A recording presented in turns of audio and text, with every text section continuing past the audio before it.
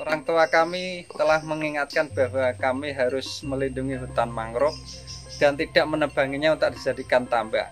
Sekarang dengan hilangnya sebagian besar mangrove, laut telah menyapu tanggul-tanggul tambak kami hingga masuk ke daratan sekitar satu mil dan desa telah kehilangan 25 baris tambaknya. In the Demak district of North Java, Indonesia, the coastline is severely eroding as a result of sediment disturbance. Mangroves that protected the shore and held the sediment have been cut down and replaced by aquaculture ponds. To make matters worse, the land is sinking due to groundwater extraction by cities and industry. This combination of factors has left the coastline and communities exposed to the daily tides, as well as extreme weather events that are occurring more frequently due to climate change. In efforts to quell the tide, concrete sea walls were placed, but these collapsed in the soft mud and blocked the sediment transport inland. Efforts to plant mangroves also failed because the water had become too deep. A new approach was needed to restore coastal safety and revitalize the local economy. A consortium of local communities, scientists, engineers, NGOs, and the government was brought together, led by Wetlands International, EcoShape, and the Indonesian government. Together, they designed an integrated solution to restore the mighty mangrove belt that once protected the land. To enhance coastal safety, permeable structures were constructed by contractors and villagers in the most severely eroding areas to trap sediment and create the right conditions for mangrove recovery. Today, communities own, monitor, and maintain the structures. In other places along the coast, unproductive aquaculture ponds were converted back into mangrove forests. In addition, local farmers received training in sustainable aquaculture practices, which boosted productivity and tripled their income. These economic benefits enabled farmers to give up part of their aquaculture ponds to make space for mangroves. Sebelumnya kami sebelum mengikuti SL, saya menggunakan bahan-bahan kimia.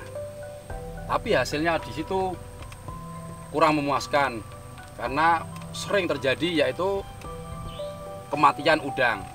Adanya SL di sini saya rubah sistemnya yaitu memakai yang ramah lingkungan yaitu komposisasi atau penggunaan mol. Sekarang saya mulai yaitu berbagi ilmu berbagi pengalaman saya dan berbagi keberhasilan saya kepada kelompok-kelompok di pinggiran pantai seluruh Kabupaten Demak. Saya tunjukkan pada teman-teman, ayo bangkit, ayo jangan malas, buktinya ada. In five years, this project has grown into a landscape scale initiative along 20 kilometers of eroding coastline in central Java. The use of permeable structures to bring back mangroves has been replicated by the Indonesian government in 13 districts.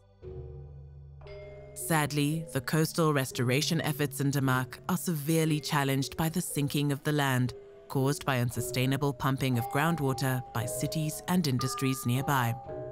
Young recovering mangroves are being washed away and ponds suffer from flooding. To facilitate a solution to this land subsidence, the project partners initiated water dialogues at national and provincial level and worked with communities to help them express their needs. Ini adalah rumah kami. Insya Allah kami berencana tetap tinggal di sini. Saya berharap proyek ini dapat menyelamatkan dan mengembalikan hutan mangrove kami. Saya merasakan ada harapan baru. What we have been pioneering in Indonesia can be replicated elsewhere. There is no standard blueprint and upscaling has to recognize that. Building with nature is going to be the answer to coastal protection in many places. Solutions like this that engineer with nature can help protect not only coastlines, but also rivers, cities, and beaches. We are sharing our knowledge, training the engineers of the future, and removing policy barriers for building with nature instead of fighting against it. Join us in upscaling this approach in Indonesia, Asia, and beyond.